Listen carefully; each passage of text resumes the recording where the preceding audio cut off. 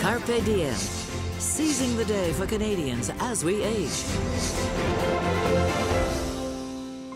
We're finally in the kitchen with Patricia. Hooray. This is my favorite thing to do is learn about food. Let me ask you, what are the most popular ways to eat eggs? There's honestly endless ways to eat them and everyone has that favorite way. Scrambled, boiled, poached, definitely popular. Once you know these techniques, the sky's the limit on the number of recipes you can make with them. You have to have the basics first, right? Yeah, that's right. We're gonna basically scramble up an egg with some peppers and cheese in it that we're gonna roll up in a quick breakfast burrito. Just get the two eggs in there, and we're gonna use our sophisticated Beautiful. whisk again here, our fork, and you can add that milk as well. So how much is this? That's about two tablespoons with two eggs. You can use any kind of milk you want. Or water if you so chose? Sure thing. Stir that up quite well. Once that is stirred up, you can add in the chopped green pepper. And then just to taste, you can put in a little bit of salt and pepper.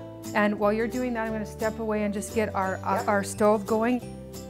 With scrambled eggs, ideally you want your pan to be good and hot when you first put it in. Mm-hmm. I'm gonna give this a quick little mist with cooking oil spray just to reduce the stick-to-itiveness. And yep, just pour the whole thing in.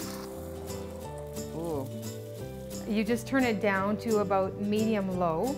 And then all you do with a scramble, just kind of lightly move it around. Like fold it into itself. That's right, till it starts forming soft curds. Give it a go. I it a know you got this. Well, I'm so excited.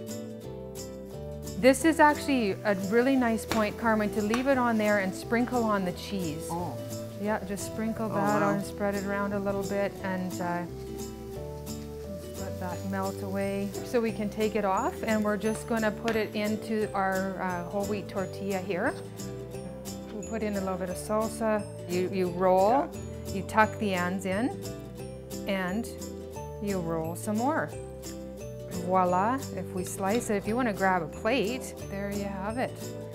So scrambled, now I know better. There you go. And this recipe and all sorts of other great ones are at eggs.ca.